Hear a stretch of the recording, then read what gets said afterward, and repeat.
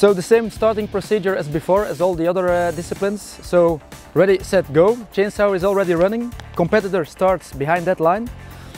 He will arrive to the log and we have two logs. One who is positioned on 7 degrees positive and one, the other one will be positioned negative uh, on, under an angle of 7 degrees. He will come up with his chainsaw. He cannot across the colored line. He will go down again and then he will cut from the top. And the top is a green marked and he has to cut first in the green line. It goes up from the bottom, then it goes down from the top and those two lines should be crossing each other.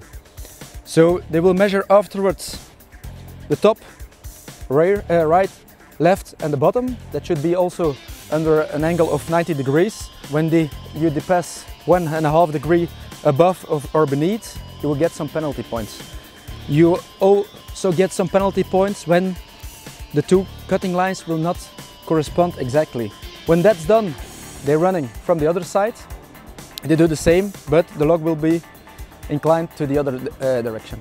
Time stops when the disc will touch the ground.